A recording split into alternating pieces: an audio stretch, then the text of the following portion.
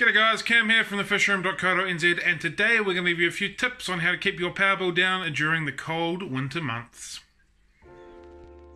The Fish Room, helping you keep beautiful aquariums. Okay, so the first and possibly easiest way to help get your power bills down in the winter is glue a little bit of polystyrene behind your aquarium. You're never going to see it to start with but it's just keeping that warmth from your water inside the aquarium. It kind of sort of bounces off and keeps it in as opposed to letting it straight out, straight through the glass. Similar kind of theory to like double glazing, how it has one sheet, then a gap, and then another sheet. Kind of same principle. Can't sort of get out through the polystyrene, keeps it in, so keeps it a bit warmer. Uh, if you've got two viewing sides you can't see, chuck it on two pieces. But for me, I just chuck on the back, particularly on big tanks like this definitely helpful. Insulation. If you have a fish room, insulate the bejeebus out of it. And if you don't have a fish room, try and insulate as much as you can anyway. It seriously makes a huge difference having things insulated. So that's the roof to my the ceiling to my fish room. It's all insulated up through there, and it's all insulated through the walls as well you'll save yourself massive amounts of money if you've got an insulated room. So the next thing to look at is actually picking your products that have a lower power consumption. 200 litres an hour, 200 litres an hour, 6 watts, 3 watts. It is double the power consumption to run this than what it is to run this.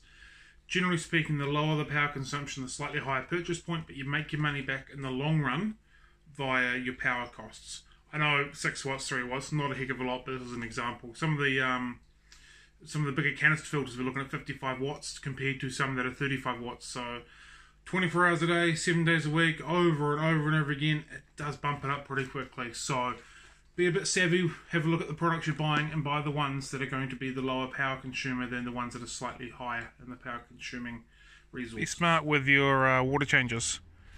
Leave your hose in the sun for a little while to let the sun warm up the water that's going inside your aquarium. This will uh, stop the water coming in coming at freezing point as opposed to having it slightly warmer. This will mean that your heaters aren't running for quite as strong to warm up your aquarium when the water comes back in. And on that note, look at doing slightly smaller, more frequent water changes. Doing a smaller water change here is going to have your water not drop quite as much in temperature as compared to if you're doing a bigger one and refilling it slightly smaller drop in the water means your heaters aren't on for quite as long a period of time, which means they're going to be running less water. Bodies of water hold water hold temperature quite well, so if you can not make them fluctuate too much, that's going to help with your running costs of your heater. Lids. Lids are a seriously super, super easy addition to any aquarium that is going to help you keep so much warmth in, which is going to help you save a lot of money on your power bill. It's a seriously simple solution. And if you really want to get a bit more into it, you can even put a little bit of polystyrene on top of it as well. That's going to keep the heat from popping out at the same time. So lids are well up there as far as recommendations to try and keep your power bill down. Very, very good idea. Here's just a little bit of a bonus tip for everybody. Always try and have one of these on hand, a battery air pump. Power goes out for a significant amount of time, these things will be your fish's best friends. It's not so much the heat that kills fish during power cuts, it's the lack of oxygen and the lack of water movement, so definitely have one of these hanging around. And if you do end up having a power cut for a decent length of time, and you've had to use one of these, don't forget to add some products like Cycle or Stability or something like that into filter to build up those colonies to help get your filter running again so your fish don't go through an ammonia spike and that sort of stuff. So just a bit of a quick bonus tip for everybody. So that's some pretty simple, easy to follow advice. So let's just quickly recap that. You're doing slightly smaller water changes more frequently so the water doesn't drop in temperature quite as often. If we can heat up our hose or something like that, it's going to help the water come in a slightly warmer temperature than what it is if we were leaving it in the shadow or in the dark. Try, if you can, do a reverse lighting system if you've got a fish room. If you don't have a fish room, it's probably not that applicable because you want to still be able to see your fish at night time.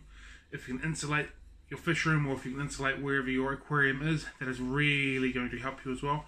And if you can even insulate the back of your aquarium with a bit of polystyrene, that's going to be a fantastic help at the same time. And don't forget lids. Lids help everything keep warm. Uh, temperature goes upwards, so if you've got a piece of glass over top, it's going to help that as well.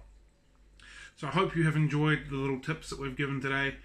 Uh, it might save you a couple bucks here or there. It might save you a significant amount because you might not be doing anything. But these are things that I try and do the entire time during the winter to help me run my fish room because I know that winter power bills are freaking expensive and they absolutely suck. So that is something that I do. Sorry, some things that I do. So hopefully that helps you as well. If you've got any other tips or advice, drop them in down in the comments down below. Um, again, I'd love to learn more myself, or if you've got some other things that will help other people, man, that's brilliant. This hobby's all about learning, so if you can help other people learn by sharing your knowledge, perfect. Right, that's me. Have a good one, guys. Happy fish keeping and catch you later.